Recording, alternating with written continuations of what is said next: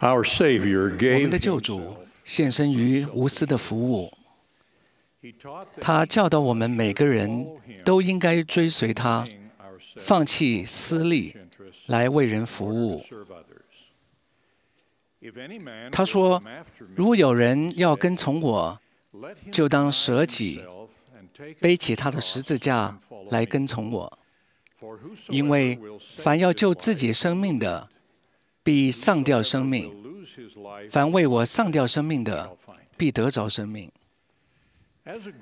整体来说后期圣徒在遵循这项教导方面是很独特的。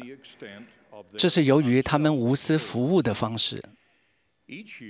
每年都有成千上万名后期圣徒申请从事全部时间的传道工作。年长者将退休后的消遣、舒适的居家环境以及含饴弄孙的天伦之乐绽放一旁，到一个不熟悉的地方去为陌生人服务。青年男女则暂停工作与学业，让自己可以到被指派的地区去服务。成千上万的中信教友从事我们称为圣殿事工的无私服务。除了出于对活着和已逝同胞的爱与服务之外，别无其他动机。支联会、支会和分会中众多的职员和教师也付出同样无私的服务。所有的人都不收取属世的报酬，但都为同胞付出基督般的服务。要放弃个人认为重要的事和渴望，并不容易。许多年前，一位刚到英国的传教士感到沮丧、灰心。他写信回家说，觉得自己在浪费时间。他睿智的父亲回信说忘掉自己，赶快工作。young elder Gordon ”年轻的戈登辛格莱长老跪下双膝，与主约定要试着忘掉自己为主服务。许多年后辛格莱长老成为主成熟稳重的仆人。他说那些只为自己而活的的人将枯萎凋零但那忘掉自己而为人服务的人将在今生和永恒中成长兴旺。Last January, 今年一月，多马孟松会长教导百汉阳大学的学生，在学生时代就要做好属灵方面的准备，包括为人服务。孟松会长说爱.是救主一生使命的最佳写照。他让瞎子能见，跛子能走，又让死人得生。也许当我们面对创造主的时候，他不会问我们你担任过多少职位，而是问你帮助过多少人。孟松会长的结论是：实际上，只有借着为神的子民服务来侍奉神，才是真正爱神。在为人服务中忘掉自己，最常见的例子就是父母为孩子做的牺牲。这不单只有后起圣徒才做得到，母亲为了生孩子、养孩子，必须忍受疼痛，牺牲个人目标和舒适；父亲为了负担家计，要调整自己的生活和优先顺序。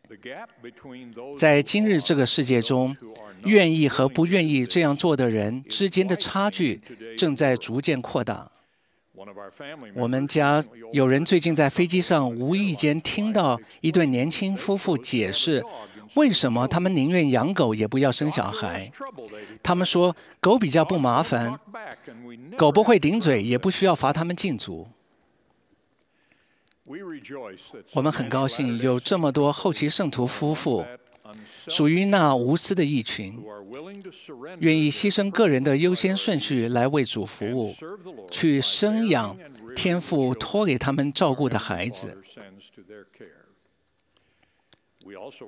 我们也很高兴有人愿意照顾残障的家人和年老的父母。做这些服务的人从来不问我会有什么好处他要求的是我们为了无私的服务而搁置个人的便利。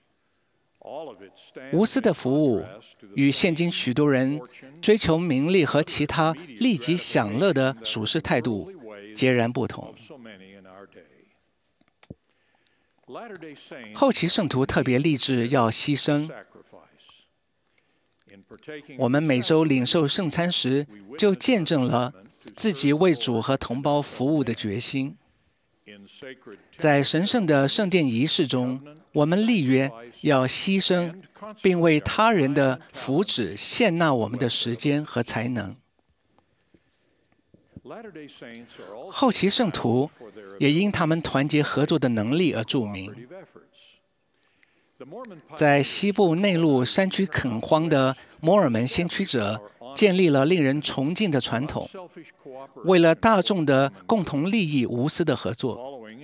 延续这项传统的是我们最近在许多国家进行的援助之手计划。在最近的一次公投当中，后期圣徒与看法相同的其他人士努力捍卫婚姻。对某些人来说，这项服务让他们付出了相当大的牺牲，忍受了个人持续的痛苦。我们教友们从宗教信仰和教会服务中学习到如何团结合作，以造福广大的社会。也因为如此，在教育界、地方政府、公益事业和其他无数需要高度合作技巧及无私奉献时间和财力的计划中，都急需后期圣徒义工的投入。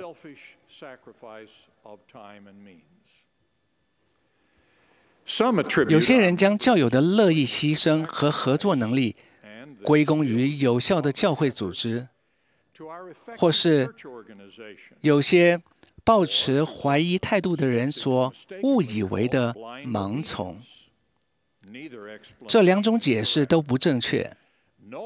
外人无论是仿效我们的组织，或是实行盲从，都无法复制本教会的成绩和教友的表现。我们牺牲的意愿和合作的技能，是来自于我们对。主耶稣基督的信心，来自于领袖受灵感启发的教导，也来自于我们在认知下所订立的承诺和圣约。遗憾的是，有些后期圣徒似乎放弃了对人无私的服务，反而选择按照世人的标准和价值观。来设定自己的优先顺序。耶稣警告说，撒旦想要筛我们，像筛麦子一样，也就是说，要让我们变得和周围的人一样普通。相反的，耶稣教导说，我们这些跟随他的人，应该是宝贵的、独特的，是世上的盐、世上的光，要在所有人面前发光。如果我们惧怕世人甚于惧怕神，就无法好好侍奉主。主曾斥责在他复兴教会中的某些领袖，因为他们追求世人的赞美，注重世上的事多过主的多过主的事。这些斥责提醒我们，我们是被召唤来确立主的标准，而不是去追逐世人的标准。约翰·维特苏长老宣告：“我们不能像其他人一样的生活、说话或行事，因为我们肩负着不同的命运、义务和责任。我们必须让自己胜任。”这项事实与时下所有流行的趋势都有关系，包括不端庄的服装在内。一位睿智的朋友评论说：“如果你看起来像海边其他的泳客一样，就无法担任救生员了。”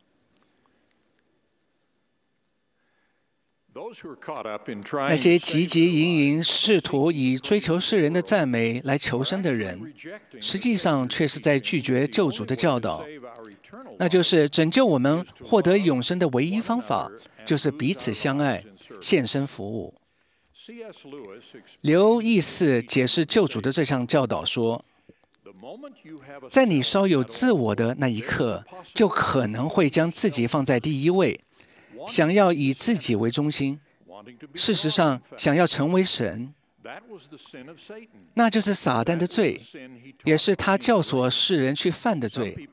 有些人以为人的坠落与性有关系，但那是一个错误的教导。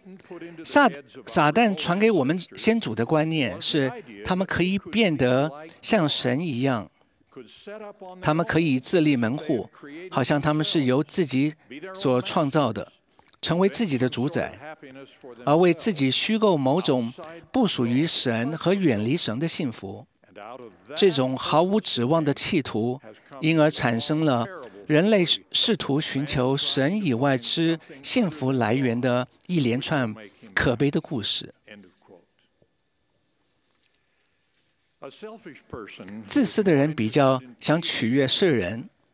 特别是取悦自己，而不想取悦神。他只在乎自己的需求和欲望。他行己路，追随自己的神的形象。那形象是世俗的样式。这样的人自觉于神的圣约应许，也自觉于在此艰困时期人与人之间所需要的友谊和帮助。相反的，如果我们能像救主教导的那样彼此相爱、彼此服务，就能继续保有圣约和友谊。在我们这个时代，牺牲肯定是不流行的。教导我们祖先必须无私合作的外在影响力已经荡然无存。有人说这是我的时代。一个自私的时代，每个人都在问我会有什么好处，甚至连一些应当懂道理的人，也急切地想要赢得巨大广厦中那些嘲笑和谩骂者的赞美。那广厦在意象中指的是世人的骄傲。我们这个时代的世俗标目标就是不劳而获。古代的贪婪罪以个人。理所应当的面貌出现，我应该得到这个或那个，因为我是我，我是个儿子、女儿、公民、受害者，或是某个团体的成员。认为理所应得，一般来说是自私的，因为这种行为提出诸多要求，但却付出很少或毫无付出。就是这个概念导致我们想使自己高过周遭的人。使我们偏离神圣公平的酬赏标准，也就是当任何人从神那里获得任何祝福时，那是由于我们服从了那祝福所根据的律律法。贪婪和认为理所应得所造成的影响，可从一些企业主管的数百万红利明显看出，但是还有其他更广泛的例子。贪婪和认为理所应得的观念。也助长了席卷全球的金融危机的背后因素，那就是草率而普遍的借款和过度的消费。赌博是贪婪与自私的另一个例子。赌徒拿出最小的金额做赌注，却希望掠夺他人，而得到更多的。更高的回报，不劳而获，无论如何伪装，都违反福音当中收获的律法。人种的是什么，收的也是什么。世人的价值观错误的教导我们，只要顾自己。这种腐败的态度无法产生改变或成长，与神在赐给他儿女的伟大计划中。所揭示的永恒进步背道而驰。耶稣基督福音的计划提升我们超脱自超脱自私的渴望，并教导我们今生的重点就是我们能成为怎样的人。已故的加尔各答德雷莎修女是无私服务的伟大榜样。由于她的誓约，她自己和同仁都献身，免费提供致贫者健全的服务。她教导，有一件事情一定可以让我们进天堂，那就是让生活充满仁爱、慈善之举。德雷莎修女坚持，我们做不了大事，只能用大爱做小事。这位伟大的天主教公仆去世后，总会会长团在致哀的信函中声明，他一生无私的服务启发全世人。他的基督徒善行将是未来世代敬仰的典范。这就是救主所说的：“为服务他人，失掉自己的生命。”我们每个人都应将这项原则应用在我们参加教会的态度上。有人说：“我今天没学到什么，大家都不友善，或是我被冒犯了。”或是教会无法满足我的满足我的需求，这些都是以自我为中心的答案，都会妨碍灵性的成长。相对的，一位聪明的朋友写道：“许多年前，我改变了自己去教会的态度，我不再是为自己去教会，而是想到其他的人。我刻意的和每个独自坐坐着的人打招呼，欢迎来访的客人。”自愿接受指派。总之，我每个星期去教会，觉得应该要主动积极，不要被动，并为别人的生活带来正面的影响。结果，参加教会聚会变成更快乐、更充实的经验。这一切都说明了一项永恒的原则，那就是：当我们为了付出，而不是为了获得。而去行动和服务时，我们会比较快乐，也会更加满足。救主教导我们跟随他，做必要的牺牲，忘掉自己，为人无私的服务。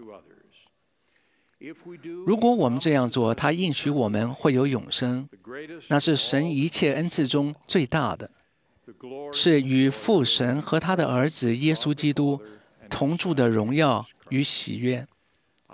我为他们做见证，也见证他们为了世人的救恩，预备了伟大的计划。奉耶稣基督的名，阿门。